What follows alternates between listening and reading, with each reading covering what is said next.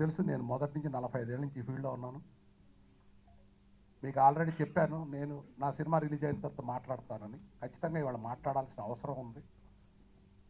మీకు తెలుసు ఇరవై ఐదేళ్ళ నాడు జమ్మూ కాశ్మీర్ కార్గిల్ వారప్పుడు ఆ ముఖ్యమంత్రి ఫారూక్ అబ్దుల్లా గారు మమ్మల్ని రిక్వెస్ట్ చేశారు. ముప్పై ఏళ్ళు అయింది ఇక్కడ ఎవరు సినిమా తీసి మీరు తీయమంటే తెలుగు ఇండస్ట్రీ తరపున మేము వెళ్ళి కాశ్మీర్లో సినిమా తీసాం ఆ ఫలితంగా అక్కడ లా పీస్ఫుల్గా ఉందని వాళ్ళు వచ్చి మమ్మల్ని సన్మానించారు. చాలా తృప్తిగా ఉంది. తర్వాత ఇప్పుడు కూడా మొన్న కాశ్మీర్లో లా అండ్ ఆర్డర్ ప్రాబ్లం వస్తే ఆ గవర్నమెంట్కి సపోర్ట్గా మేము వెళ్ళి అక్కడ సినిమా చూసి వచ్చాం తీసాము సక్సెస్ సక్సెస్ఫుల్గా పూర్తి చేసాం రోజ్ గార్డెన్ సినిమా. మళ్ళీ అక్టోబర్ పంతొమ్మిది ఈ సినిమా రిలీజ్ చేసాం జనవరి ఫోర్టీన్త్ ఇది రిలీజ్ చేస్తామని ఆ రోజు చెప్పాం.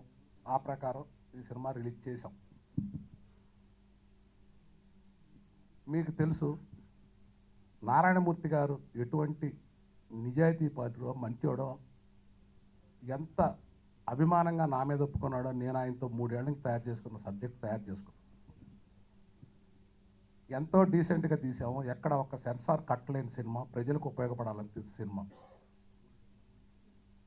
ప్రతిరోజు కూడా సా- మా నటులందరూ కూడా ఏడు గంటలకు సెట్లో ఉండి సినిమా ఒక మాట ఇచ్చావు పూర్తి చేద్దామని నాకన్నా కూడా వాళ్ళు ఇంకా మోటీగా చాలా చక్కగా అన్ని డిపార్ట్మెంట్ కెమెరా ముఖ్యంగా నారాయణమూర్తి గారు మిగతా ఆర్టిస్టులు అందరూ కూడా సపోర్ట్ చేశారు. అనుకున్న ప్రకారం రిలీజ్ చేశారు. నేను ఎప్పుడు కూడా ప్రెస్ని నా గురించి రాయమంటాం కానీ ఒక ఫోటో నన్ను తీయమంటాం కానీ నా సినిమా గురించి రాయటమని ఇంతకుముందు నలభై ఐదేళ్ళ నుంచి జరగల.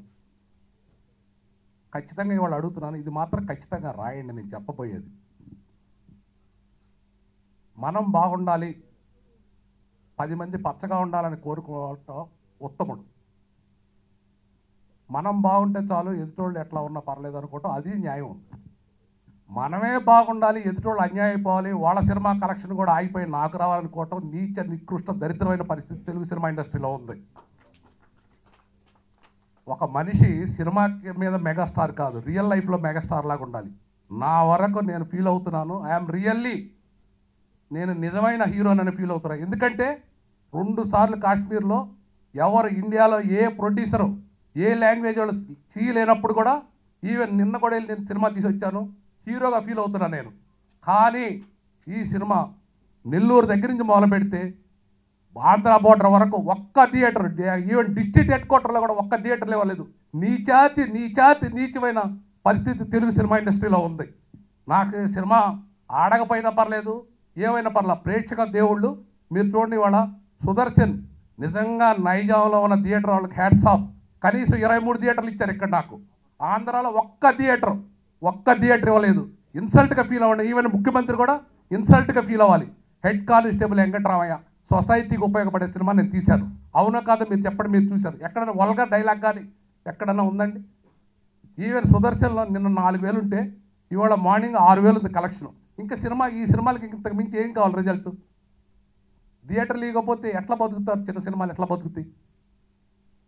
అంచేత సినిమా తెర మీద హీరోలా కాదు రియల్ హీరోల్లో కూడా బతకండి బతకడం నేర్చుకోండి. మీకు కోట్లు వచ్చినాయి. పర్లేదు మీ అందరితో ఇండియాలో ఉన్న హీరోలు అందరితో సినిమా తీసే కెపాసిటీ నాకుంది. ఒక సింగల్ షెడ్యూల్లో తీయకూడదు మీ అందరితో. అయినా మీతో సినిమాలు తీసేంత పాప పని నేను చేయను. నేను ఎప్పుడు కూడా చిన్న సినిమాలే తీస్తాను మంచి వాళ్ళతో తీస్తాను మంచి కథలు తీస్తాను. Thank you Thank you.